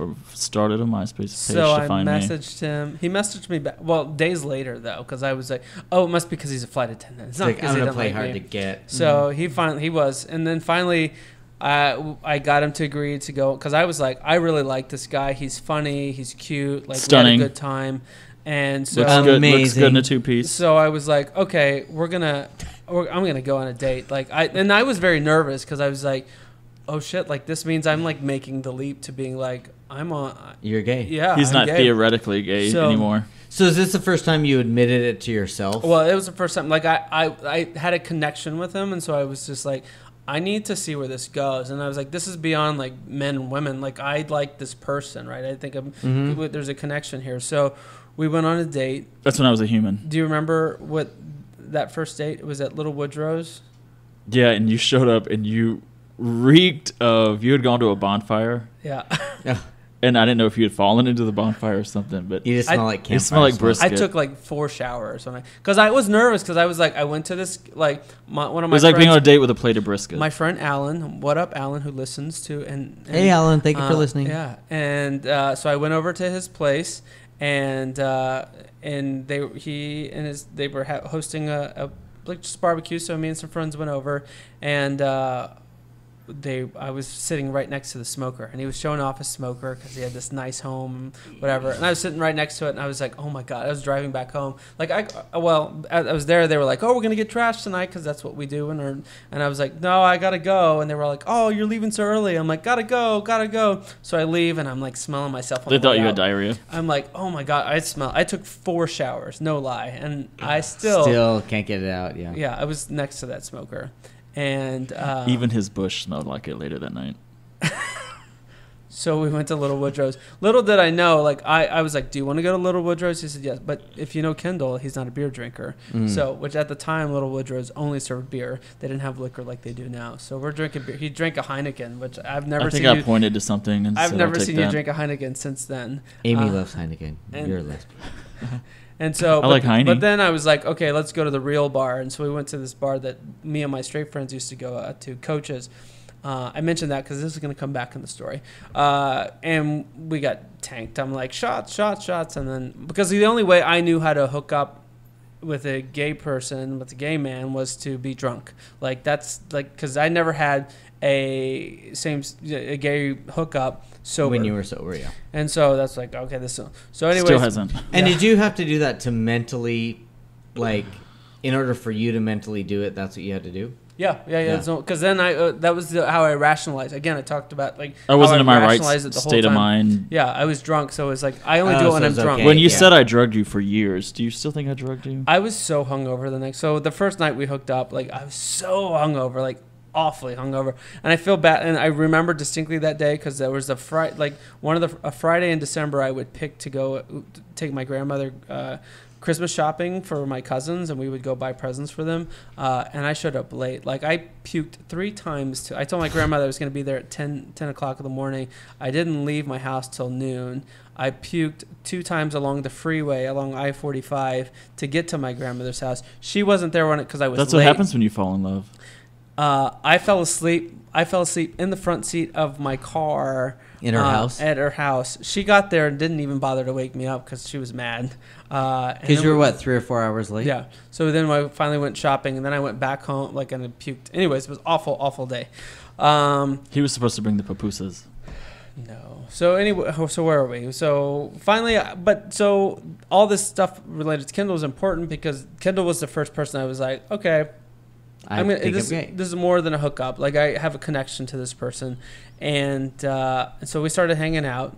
Uh, more it was more on a hookup basis, and then we started hanging out more of like, oh, we're gonna hang out not just in hookup like mode, like and- during the day. yeah, Let's during go to the a day, movie, yeah. we're gonna hang out as people. Um, I'm going to tell you my real name now. yeah. Oddly enough, he I remember he tried to hold hold my hand in the car one time, and I was like, I was not like I had a violent reaction. No, to that was on the couch in Yeah. the uh, privacy of your own apartment. And you were like, you didn't blink the rest of the night. I was like, uh, which is now so interesting because Spencer and I are like constantly like Yeah. flailing our hands nonstop. But uh, so I've come a long way in the last 10, 11 years. So Spencer, you can thank Kendall for that. Uh, uh, but uh, so, but we started to I get threw the first brick at that glass. Stonewall. So we started to get serious, and that's when I was like, I need to start telling people because we would hang out in Midtown, which was a popular area. Yeah. And I got to a point where like Popular straight area. I, yeah, I mean, I, All his friends were straight. which were all my friends friends were straight, and we would hang out often. And I got to a point where I was like, I want Kendall to be around my friends. I want him to meet my friends, and I don't want to like hide this part because it was I was compartmentalizing it, and so I tried to come out to my friend at a wedding that we were at. We were in Arkansas of all places, and I was like, it was my friend Kim. I'm like, Kim, I have something to tell you. And she's like, "What?" And so later she tells me she's like, and I and I didn't tell her that night, but I, I, because she wound up hooking up with someone. who was the cute? Uh, yeah, no, he was okay. But they, in our room, because she and I were sharing a room, because we were like wedding dates all the time. But anyway, she. Uh, so you watched. She was like, yeah, through the through the keyhole. was it hot? Uh, no. Well, I, don't- I no, no, no. Anyways, uh, Did you sniff the sheets? I did afterwards. I was like, oh, this smells like sex. so she, I didn't tell her, but I was like, I'm gonna have. I was, it was on the tip of my tongue. So I, at that point, May, I'm like, I'm gonna tell people. So I finally got to. It took me a little bit longer. So July 4th of that year, I I started to tell people, and the way I told folks was I took a very uh, common method to telling my friends, and I told my friends before I told my family. So uh, it was it was actually the night before July 4th. It was July 3rd because July 4th I was going to host a little uh, gathering at my apartment and in the apartment uh, in the garage because you could see the fireworks. So I was going to bring people over, and I was like, I want Kendall to be there. Kendall. And so, but the night before, I had A of one my friend Kim, and then I had some other friends. Interestingly, there was another friend of mine who was, I think, somewhat interested in me, but she was always playing hard to get. So I was like, "Ma, I don't care. Fuck her. So I don't. These friends are all, are you know, we're all hanging out at this bar coaches, which is we used to hang out all the time. And I'm texting Kendall. I'm like, "Come over. I want you to meet my friends." And he's like, uh, "I'm like, no, I really want you to come over." And so I started telling my friends. Like Kendall's like, "Oh, I'm I'm here in the parking lot." And I, I bought a round of shots for my friends. I'm like, "All right, cheers, everybody." I want you guys to know that I may or may not finally be dating someone because I hadn't dated anyone since the girl I was in love with in college. Uh, I may or may not be dating someone, and it may or may not be a guy, and it may or may not be Kendall. Cheers! Right as I walk up, yeah. Cheers! And everyone looks at me like, what? And they see Kendall, and they're like, oh, what's going on? And they're all freaked were out. I'm shocked? like, yeah, and I'm che- I'm clinking shot glasses. I'm like, cheers, everybody! And they take the shot, and everyone's just like, what I the made that fuck just debut happened? so many times because you had like 20 coming outs. And that's how I different did groups it of multiple people. times, And like- you would always be like, and this is my boyfriend. Which and, and when I say that, I asked the question again: where th- was there chatter afterwards? Because I re- realized, like my friend Kim, she was like, "Oh yeah, I called all these people afterwards." And And, like, so, did you know? Like, yeah, what the she- fuck? and yeah. then she was like, and she said she was crying. It's like she called her mom, she called another good friend like of ours. sad, joy. I don't know. It was just like Shock. shock. I think a lot of people were like, "How didn't you? Why didn't you tell me that you were gay?" And I'm like, "Well, it wasn't a secret." Made Yeah, yeah. Made Because- it about them. because I didn't I didn't come out in a like I want to have a serious conversation with you. It's just like his be my boyfriend, right? Yeah. And so um so there was that, but I did that probably for the next 4 weeks in a row. There was different groups of friends like part of that yeah. circle. I was just introducing new people, but I most of the feedback I got was why didn't you tell me sooner? Like why didn't you tell me? The coolest reaction I got was from my sister though. Uh, because my sister, I tell her after, so I told my family uh, weeks after I started telling my friends, uh, because uh, so my sister's in town. I'm like, we're hanging. She's hanging out at the bars with us, and I'm like, I gotta tell you something because at that time my soon to be brother in law was hanging out in Midtown as well, and I'm like. He's gonna see me out with Kendall, like, and he's gonna tell my Oh, sister, yeah. and I'm like, I can't have that happen. So I go and tell my sister, I'm like, hey, I got something to se- tell you. I said because, and we're again we're at the bar, music's loud. I'm like, because uh, your your boyfriend at the uh, boy his boyfriend at the time I said is out in mid- Midtown a lot. I said I see I can potentially see him, and I just want to let you know something. And she's like, okay, uh huh, what? I was like, I may or may not have a boyfriend. I may or may not, you know, it may or may not be this guy Kendall. A- And I said, cheers, and she's like, oh, cheers. And so her reaction was like, we take the shot, and she's like, oh my gosh. She's like, I thought you were gonna tell me my boyfriend was cheating on me. she's like, I didn't care. She's like, so cool. I'm Thank glad. God you're I'm just glad you're dating finally Kendall. dating She said, someone. "Oh, you're just gay." Yeah. Oh, thank God. I thought you were going to tell me. So and so I told my sister, and then like two weeks later, I told my dad. You did. It Okay. was sad to tell my. I told my dad before my mom, which I was. I had always been closer to my mom, I guess. Um, but I told my dad because my dad came into town. And my dad's one of these like machismo people, and he, you know, we hung out on a rare event. uh, like he came in on a Thursday night. We we drank at the bars, which was kind of his his thing. The next day we go to. I remember we went to like shopping at Macy's or Dillard's, whatever, and he's dropping me off. And before my dad, he was when he came in that weekend, he was trying to tell me, he's like, "Why don't you ever let me come into town? You're always too busy. Why don't you ever just let me come in? What are you dating someone? Like dating a guy?" And so that's what he always tell me. And so that day, he's dropping me off. We have this very nice father son moment, and I'm getting out of his truck. I was like, "By the way, Dad, I just want to let you know, like, you keep teasing me about like." Uh, if I'm dating a guy, I actually am dating a guy, and he just went, "Okay, son," and that was it. He was in shock, probably. In complete shock. Went into depression. So Did he? Yeah, went into such a depression that my mom was really worried. My parents are divorced, right? My mom, but they Wow. talk very. Yeah. She noticed. I had hadn't told my mom. My sister got my, my my mom was going to my sister like, "What is wrong with your dad? Like, I'm really worried about him." So my sister felt compelled to like tell my mom. So my mom knew before I I told her. And so when I finally did tell my mom, like my sister was like, she already knows.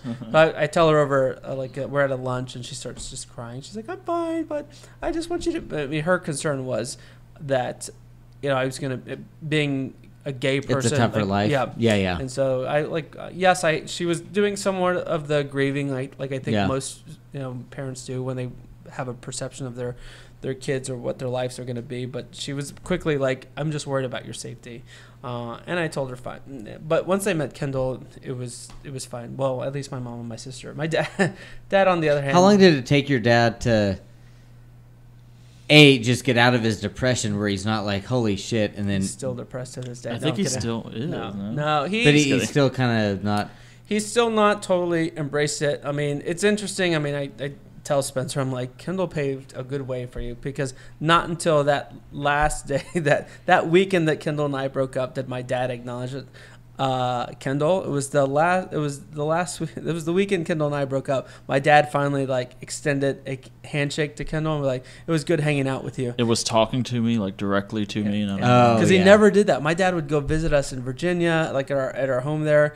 Um, didn't like would talk past Kendall, like never d- addressed him directly. Wow. we would say hi and bye, and I tried to talk, but it was so obvious that Yep. it, Yeah. And so so it was very awkward. But now he's like he, he like he included Spencer on a group text one time. I'm like Spencer, this is a big deal. Oh, yeah. like Wow. and so I was like, this is a big deal. And he'll he'll address Kendall. He'll I mean Spencer. He'll say hi because he won't address even to this day. he Still won't address Kendall, but he'll address Spencer. because I'm the reason you're. he'll, he'll give him a handshake and like he, he acknowledges he likes uh, he teases though he's like I I liked and, and I say this in all good jest because this is a good sign for Spencer um, he was like I liked Kendall because Spencer and I are very affectionate he was like because Kendall was never that affectionate too my the I think it, it makes my dad uncomfortable that you know Mhm. the expression that Spencer and I have Because you know, Um, some people are like, "Oh, it's okay that you're gay," but Just don't throw it in my face. Yeah, yeah, yeah. and Spencer and I are definitely throwing it in their face yeah. uh, but I would proudly. And so I, uh, yeah, so that's my coming out story. Wow. So a long-winded story, but I think it was like necessary because I it was different yeah. than Yeah, it's never guys- easy Yeah, to just make an elevator speech of your like. Yeah. This is how I came out Yeah. real quickly. And Yeah. it came out in several like uh, when I say it was like and and and Kendall says it was over several weekends. It was seriously like It was over months. There's more friends. There's more friends. Yeah, and I some do people- feel it's a process for people, right? I mean, and they it was so weird the reaction because a lot of them I, I had a lot I had some friends after I so I told folks on the tail end of me living in Houston before I moved to, to Virginia and after I moved from Houston I lost a lot of friends like they started to lo- like lose contact Mm. and and I think it was because they they were like well we didn't approve of that anyway so which is sad like I lost friends because I Yeah. came out It like was well, a- uncomfortable, a, a yeah. girl that I knew from high school that was a good friend of mine stopped talking to me altogether. She was always that crazy? She always Yeah. deemed me her best friend. Uh, and so, I mean, there were people that were crying. Like it was so weird. Like I and I Yeah. don't say this because of me. I, I it's a reflection of like how people internalize this. Like, oh, this is about me. Yeah. I'm like I had a girl. I had one friend cry. She didn't cry in front of me. The the the first night she didn't cry in front of me, but she said later, "Oh, I went to my car and cried." Another girl just flat out like walked out of the bar, walked to the Yeah. restroom, and just broke down.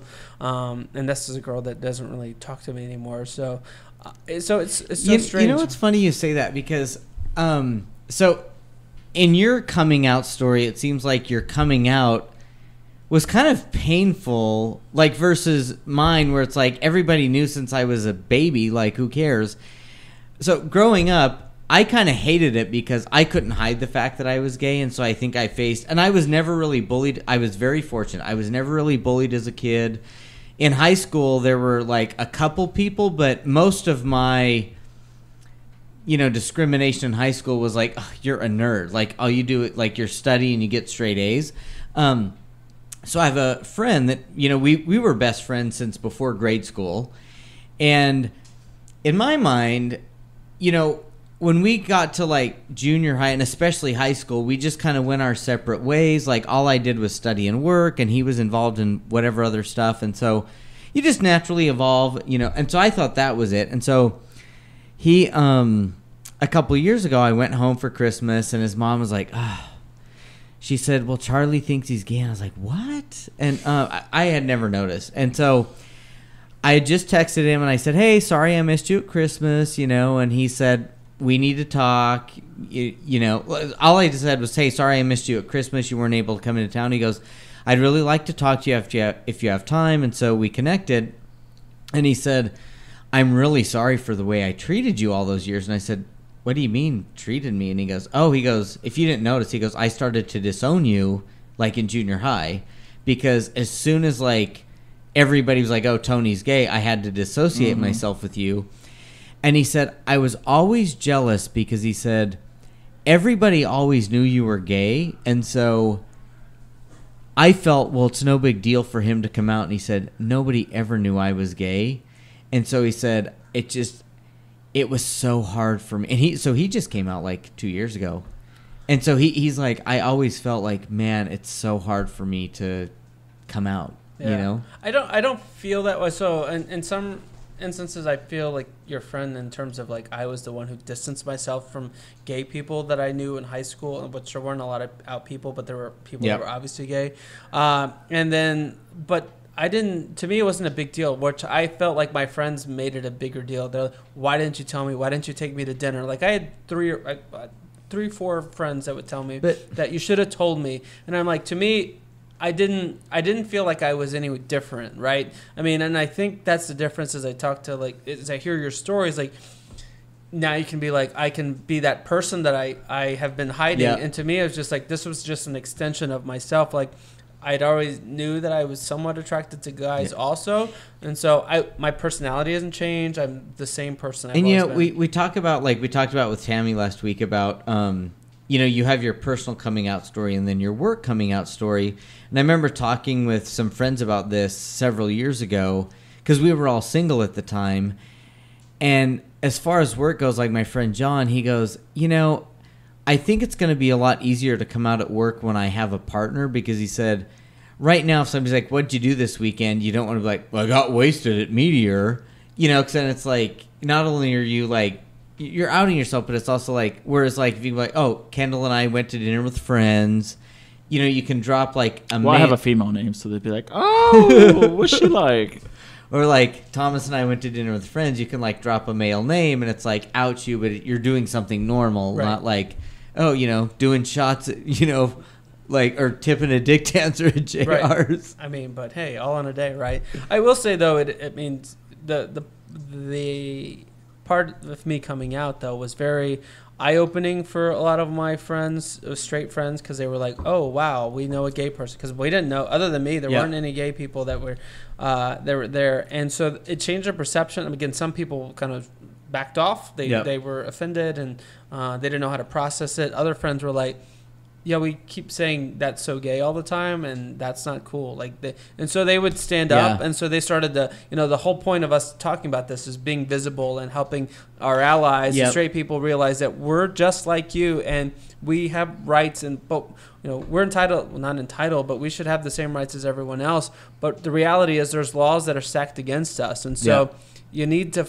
We need those folks to know that we're normal people. And, they can And you know for- what? Like, okay, so I do feel when I first came out, I remember my very first, um, you know, the Pride celebration where they announced the Grand Marshals. The uh, female Grand Marshal, she, uh, I mean, she got up and she was like, "Yeah, thank you, but here's my stump speech on you need to come out because how important it is." It like, and I thought, "Oh, is it really that important to come out?" And just this week I had two instances. Like one, so last Saturday, I go to this brewery with a bunch of straight friends, and this one guy, I had just met him a couple weeks ago through my friends Mark and Andrew. He goes, Tony, I have this party after this. He goes, you need to come with me. He goes, there's a guy there. He's really cool. I think you you guys would mesh. You know, he goes, I want you to meet this guy. And I was like, okay. Whoa, is he cute? Woof. and he is cute. Oh, all and right, so Tony. I was like, so how long have you known him? He goes, well, I've known him four years. And I said, well, what's his story? And he goes, I don't really know much about him. And I was like, but you've known him four years. And he goes, well, here's the deal. So this guy that I was talking to, he's from small town Oklahoma, and he goes, I met this guy four years ago through a group of friends, and when I met him, like everyone's like, "Oh yeah, this is so and so," you know, he was gay. He goes, "No offense, don't support that. Don't really want anything to do with you. Let's just mutually agree that we're all part of the same group of friends. You go your way, I'll go mine." And so his the gay guy's like, take all the time you need. You ever want to be friends? Great. If not, who cares? You go your way. So he goes, literally, that guy just being himself, and everyone, all my group of friends who I really like, value him, think he's cool. Over these three and a half, three, three and three quarter years of getting to know him, is like, okay, maybe he's not so bad. And so he goes, I've really just gotten to know him the last couple months because I wouldn't even talk to him. And I was like, and that's kind of all he. But and he goes, he's the one that, and he goes, it was my thing to get over. It wasn't anything he did. And then um, one of my friends contacted me this week. So he's, we've been friends for ten years, and we met through business school. And he's very, um, like he was raised by, I think his dad was a preacher. Uh, he's pretty religious, whatever. And so when we met, um, I don't know exactly how close-minded he was in respect to the gay thing, but pretty. And he's the one that said, "Hey, I want to talk to you about your podcast. You've like opened my mind to a few things." And I'm like, "Okay." And he basically said, "He's like, I look at you as you're gay, but you know, you're also this well-rounded individual." And he didn't look at gay people like that 10 years ago. It was like I don't know, but I think he probably like we talked about Harvey Milk saying we got to out Oliver Sipple because everybody thinks gay people are like pedophiles lurking in the bathrooms. Not that he was like my friend Chris was like that much about it, but like he probably had a very like very like this is what gay people are, and it's like by just knowing me, you know. So I do feel like come out, come out because it does change people's minds. You know, like just living your life day to day. It And sometimes that happens when you're 14. Sometimes it happens when you're 24. sometimes after you're you have to be yeah. it has, just- you have to be yeah. ready. It has and to be you the have right to be ready to do it on your own and, terms. and, and I feel like we, we may have oversimplified it. Like I, I will say, because when I Oh, came it's out, like. I was I was older. I I felt okay where I was career wise. I felt that I comfortable with my group of friends. I knew that my parents would struggle with it, but I knew they loved me. Uh, and so, and you know, Tammi, what we talked Oh. about last week, she had that life. She said, "My mom threw me a lifeline. You could always come back." But Yeah. and I knew my parents were gonna love me no matter what. And I knew Yeah. my sister was gonna be there for me. And so, shout out to Veronica. Uh, and so I was, uh, and like I said, in the group of friends I had, I felt strong enough connection with them that maybe some of them were going to deflect and if they find if they didn't want to hang out with me i was okay with that like because i was comfortable with Yep. myself and I, I i stress that because that's where i was personally and not everyone's like that i mean kendall i don't know where you were when you personally when you came out like whether it was an easy decision but i know a lot of folks str- like i feel like we may have glossed over the simplicity of like no, oh, and the thing out. is, like, you know, we may have because now we're like 10, 20 years after coming out. So it's like, oh, you know. But I remember everybody knew I was gay. And it's like there's this cloud between us. But even then, like my friend Mitzi, she is the most creative, artistic person I know, non judgmental. She could give it, who cares. I was so nervous to tell her, and she's known me since I was probably like three or four.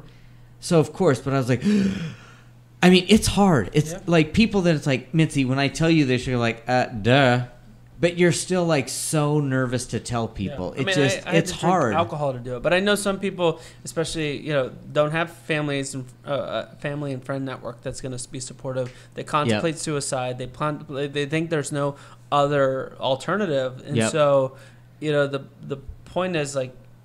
It is Tammi again noted like you, it's a dark time, but there's a there's and a it, light. and you know i feel tunnel. like okay so somebody like you know tammi who we had last week i mean her story is she's from like memphis slash mississippi moved to houston She was on the quiz show. yeah and so um even though her family was supportive in order for her to come out and live her lifestyle it was in houston where she doesn't know anybody and she's she doesn't have the every day when I get home from my day I can talk to my mom. It's because at that time it's long distance telephone calls, and so you are kind of on. Even though you have the support, you're kind of on your own. You've got to build your your community of support, and so it's even though you.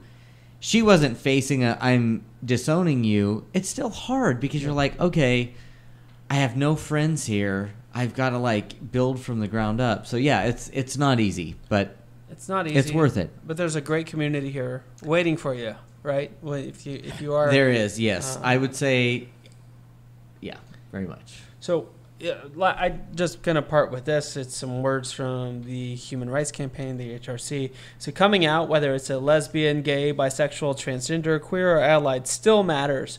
When people know someone who is LGBTQ, they are far far more likely to support equality under the law. Beyond that, our stories can our stories can be powerful to each other. And and again, I, I think it's important LGBTQ plus as well as allies. It's important to be an out out out Very ally. much, yeah, we yeah. like you at the pride parades. We like you coming and supporting us. We like you, even though it's annoying sometimes because you take all the seats. We like your gay Hamburger- sons. Hamburger Marys. I'm You like, we we appreciate what you're doing, uh, and so it, it is important for us to be out. I mean, I know this is going long, but I feel it's very good. And like sometimes we talk about like, you know, some people that go to Hamburger Mary's like look at us as like, oh, let's go see the freaks. But I do feel in a way that's a little incrementally better than I won't even think about going to a place that does that. I mean, Hamburger Mary's is a drag restaurant that you have to have reservations to, and it's like overwhelming. with which two years ago you clientele. didn't need to have. Which speaks to the to your point, the progress of like people yeah, yeah. are willing. And so to even come though in. some people are like, okay, it's kind of weird, but let's go. It's like better than "Ah, what a bunch of weirdos. I wouldn't even think about Yeah. going there. Which you the- know, it's somewhat. I mean, and Kendall's talked to this before. It's it speaks to kind of where we were like 30, 40 years ago. Because in the seventies, those same places would have been crowded. But because of the AIDS crisis and all the Mhm. politics around it, people shunned away. But I think now finally we're starting to see the light, despite all the nastiness that's out there with the you know the current political situation. I think we're we are definitely making progress. So our coming out stories. That's awesome. I appreciate you guys sharing that. Like, it's a great story to to tell. Um, I mean, maybe it's long winded if you're listening, but I I think you know it just kind of shows the I do feel it's important though. Yeah, in terms of how how we got to to where we are today. Um, Okay, a few reminders, right? One reminder. Monday, October the 7th is the last day to Register register to vote, to vote in Texas. in Texas. So register to vote, whether you're in Texas or wherever you are, uh, because it matters. Be matters. ready for next year. not yeah. just in 2019, but in 2020.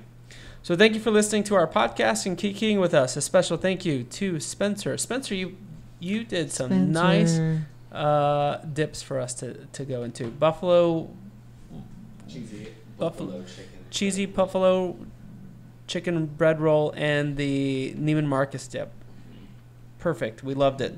Uh, and thank you for, for all of it. And th- I it was cool to see your, you sporting your your new Our Spoopy podcast shirt. Those are now out and available. All right. love the logo. Don't forget to subscribe so you can hear future episodes.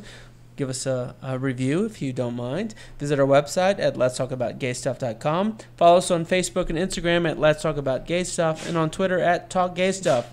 Tell us what you think about us. We love the feedback. And if you don't want to do it in public, you can drop a line at Let's Talk About Gay Stuff at gmail.com. Uh, again, our friends at Spoopy Pod, our, our Spoopy Podcast, uh, can't wait for you to listen to them. They have a great uh, slate of shows for Spoopy Month here in October, so give them a listen. And uh, thanks for listening. So we're here. We're queer. Get used to it.